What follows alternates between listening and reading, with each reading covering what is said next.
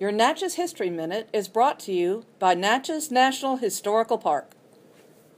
On this day, March 26th, in 1682, the French explorer René Robert Cavelier de La Salle came to my people's ceremonial center to meet with the great Sun of the Natchez.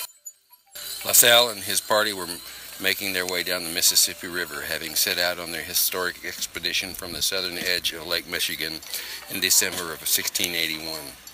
Following the Illinois River downstream to the Mississippi, LaSalle's party of 20 Frenchmen and 27 Mohican Indians reached the mouth of the Arkansas by the second week of March.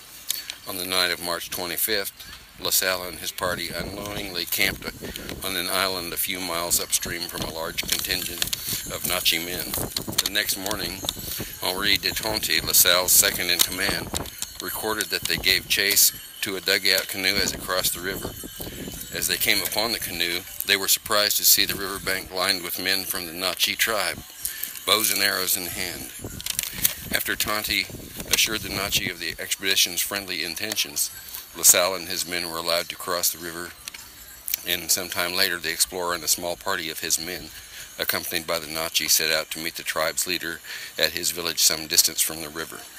Accounts differ as to the length of his meeting with the chief.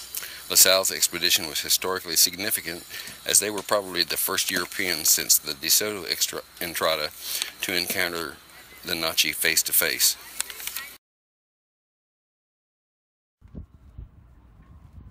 In Kololo, wida shagon, tachalgi waltalawan manapampia yash nakashe, akki fields wish.